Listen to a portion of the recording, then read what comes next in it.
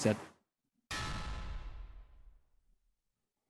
After a fantastic first day of racing at the Le Mans Bugatti circuit, we were back for day two, and the drivers were presented with another wet race to whet their appetites.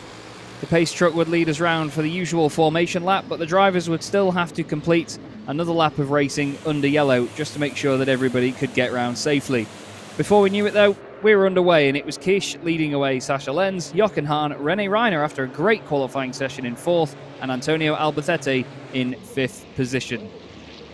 Rene Reiner would very quickly come under pressure, though, from the drivers behind Albacete, Kursim, Lacko, and Steffi Halm, all queuing up to have a go at the German.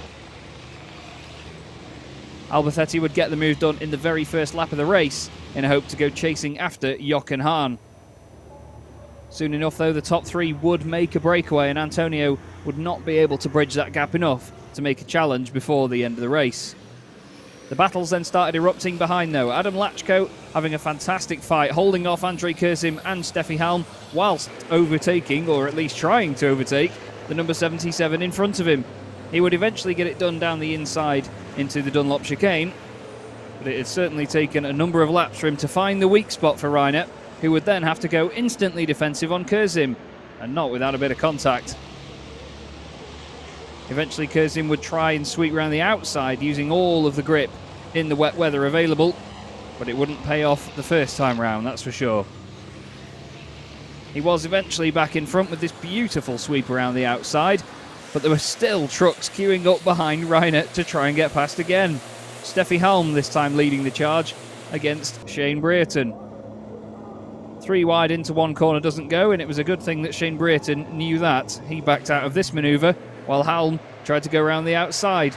Soon Steffi would lose bodywork from the truck after this collision with the penalty markers. Some very, very hard racing between herself and Brereton along the way.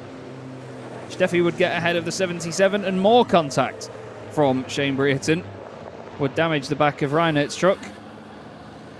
Eventually, though, he would succumb to the pressure and Brereton would get in front.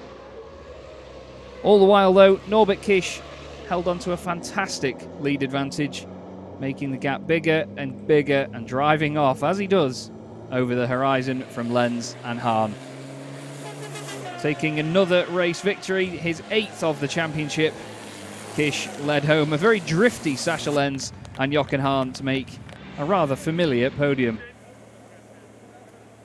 A kish for Kiss, and a fantastic celebration once again. He was looking forward to another afternoon. Was it out there? It was very slippery in the beginning. Um, yeah, it was. We set our truck so it would dry up. So in the beginning, it was very difficult.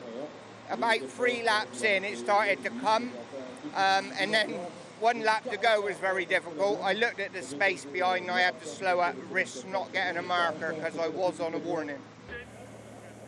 Shane Brereton there finished in eighth position overall, winning the Goodyear Cup. But Kiss won the race from Lenz, Hahn, Albacete, and Adam Lacko. André Kursim was sixth, ahead of Steffi Halm and the aforementioned Shane Brereton. Then it's Rene Reiner and Stefan Fass in 10th. Libri Recuenco finished in 11th ahead of Luke Garrett and Heinrich Clemens Hecker, with Jamie Anderson getting disqualified for overspeeding. He'd hoped to turn his afternoon around with the fourth race of the weekend later on.